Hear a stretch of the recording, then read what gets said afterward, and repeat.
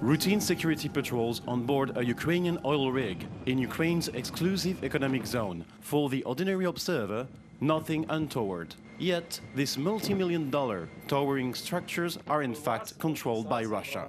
Ukraine's State Border Guard Service accuses Moscow of drilling for natural gas illegally using rigs seized after Russia's invasion of Crimea in early 2014.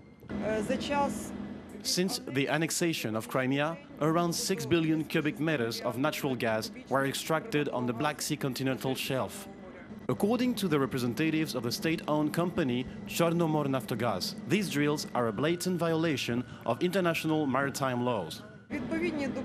Respective documents are being drawn up at the moment and will be filed to the international courts. Hearings in the international courts are already taking place.